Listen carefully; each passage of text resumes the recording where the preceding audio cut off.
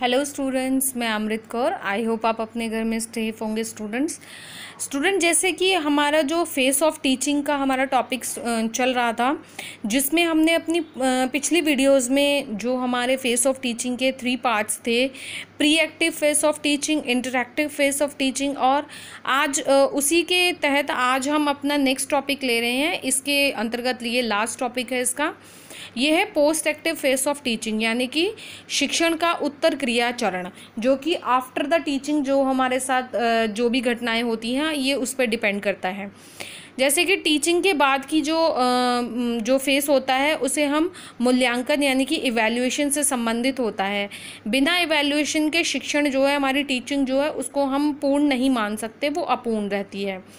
इस अवस्था को, इस फ़ेज़ को मूल्यांकन अवस्था यानी कि इवैल्यूएशन फ़ेज़ भी कहा जाता है।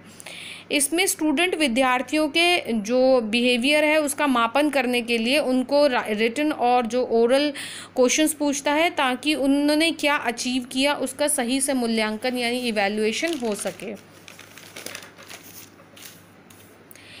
इस अवस्था से जो क्रियाओं, जिन क्रियाओं पर विशेष ध्यान दिया जाता है, वो इस प्रकार से हैं। शिक्षण द्वारा व्यवहार परिवर्तन के शुद्ध रूप की परिभाषा यानी कि शिक्षण जो हमारा अध्यापक है, वो व्यवहार परिवर्तन को स्पष्ट करता है, जिसे मानदंड व्यवहार यानी कि क्राइटेरियन बिहेवियर भी कहा जाता है। टीचर स्टूडेंट्स के जो एक्चुअल बिहेवियर होता है, उसके परिवर्तन की अपेक्षित व्यवहार परिवर्तन से तुलना करके एवेल्युएशन करता है। जब अधिकांश स्टूडेंट अपेक्षित व्यवहार करने लगते हैं, तब अध्यापक इस कंक्लूजन पर पहुँचता है कि टीचिंग की युक्तियों और विधियाँ प्रभावशाली रहीं या नहीं रहीं। उसी से मालूम चलता है कि टीचर ने जो पूरे टाइम मेहनत की, उसका उसको रिज़ल्ट जो है स्टूडेंट के इवेल्युएशन पर ही डिपेंड करता है। नेक्स्ट टॉपिक नेक्स्ट पॉइंट है, इसमें हमारा मूल्यांकन की उपयुक्त प्रविधियों का चयन। टीचर स्टूडेंट के बिहेवियर में अपेक्षित परिवर्तनों के जो इवैल्यूएशन के लिए प्रयुक्त प्रविधियों, यो मेथड का चयन करता है। जिन परीक्षाओं का चयन किया जाए, वे विश्वसनीय और वैध होनी चाहिए। वैलिड होनी चाहिए और ट्रस्टवर्दी होनी चाहिए। दोनों प्रकार की जो हमारी परीक्षाएँ हैं, उनका उपयोग किया जाए। ज्ञानात्मक और अज्ञानात्मक दोनों पक्षों का इवैल्यूएशन कर हो सके। शिक्षण से स्टूडेंट के सभी पक्षों का डेवलपमेंट किया जाता है। इसीलिए निष्पत्ति, जो परीक्षा की अपेक्षा, जो हमारा मानदंड परीक्षा को अधिक जो है इम्पोर्टेंस दी जाने लगा है। इसमें हमारा जो नेक्स्ट पॉइंट है, वो है प्राप्त साक्षियों से शिक्षण नीतियों में परिवर्तन। एवेल्यूशन के द्वारा स्टूडेंट के निष्पादन और उद्देश्य की प्राप्ति के संबंध में निर्णय लेने के साथ साथ परीक्षाओं के परिणामों से टीचर्स अपने अनुदेशन और शिक्षण युक्तियों के संबंध में भी निर्णय लेता है। मूल्यांकन के द्वारा जो इवैल्यूएशन की हेल्प से टीचर को अनुदेशन और अपने जो मेथड ऑफ़ टीचिंग है, उनके आधार पर डेवलपमेंट के लिए आधार मिलता है। इसीलिए इवेल्यूशन के द्वारा टीचिंग की जो जितनी भी क्रियाएँ हैं, उनका निदान भी किया जाता है। इसमें उन्हें सुधार करके उनको प्रभावशाली बनाया जाता है।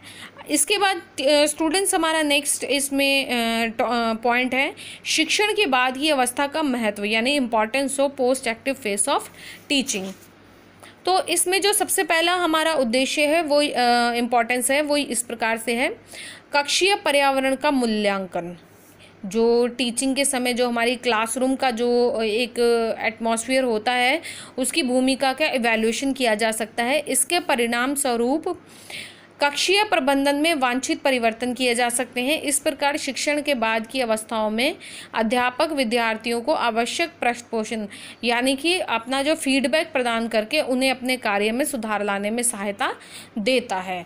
कि जो जो उनकी कमियाँ रह गई हैं स्टूडेंट की, उनको बताकर मूल्यांकन की सहायता से उनको दूर करने की कोशिश करते हैं। नेक्स्ट है उद्देश्यों का मूल्यांकन।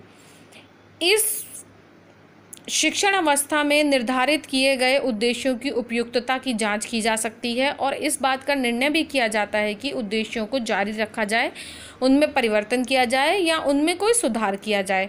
ये डिपेंड करता है टीचर्स के ऊपर। अगर उनके उद्देश्य, अगर उनकी उद्देश्यों में कोई प्रॉब्लम है कि अगर वो बिना चेंजेस के ही उसी तरीके से स्टार्ट रखने चाहिए या उनमें कोई चेंज करना चाहिए या उनमें जो जो हमें नीड्स हैं, हमें उनको किस प्रकार से यूज़फुल बनाना है।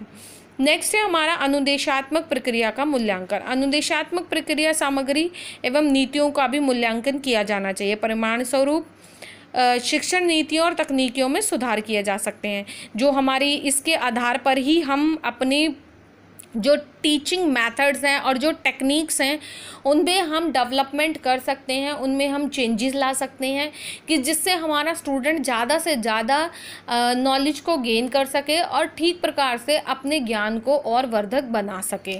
इसमें हमारा स्टूडेंट लास्ट पॉइंट है, विषय वस्तु का मूल्यांकन। विषय वस्तु की उपयुक्तता एवं उसके गठन के संबंध में नए सुझाव दिए जा सकते हैं। विषय वस्तु को जारी रखने या नई विषय वस्तु निर्धारित करने के संबंध में निर्णय ले जा सकते हैं।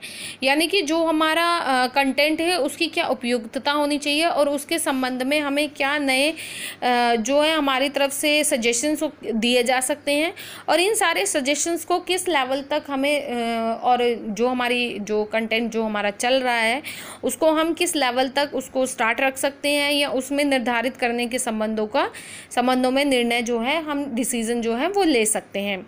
स्टूडेंट, आज हमारा जो फेस ऑफ़ टीचिंग था, वो टॉपिक हमारा आज क्लियर होता है। अब हम आपके साथ नए वीडियो में एक नए टॉपिक के साथ बात करेंगे। Thank you and have a nice day